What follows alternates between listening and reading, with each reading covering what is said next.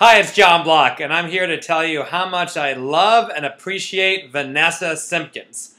Uh, I lead a quarterly event called Speaker Venture, which is dedicated to serving visionary leaders who are using public speaking to transform the world. So I'm very particular with whom I have on the Speaker Venture stage. And I want to say, having Vanessa as my featured guest at the last Speaker Venture, giving her an hour on stage was one of the best decisions I could have made when it came time to curate the lineup of experts for Speaker Venture. She showed up in her full authenticity and power and beauty and sexiness and play and completely inspired all the women and the fellas to really say yes to all of themselves.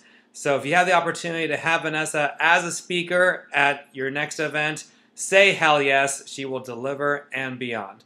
This is Jon Block saying much love and thank you, Vanessa.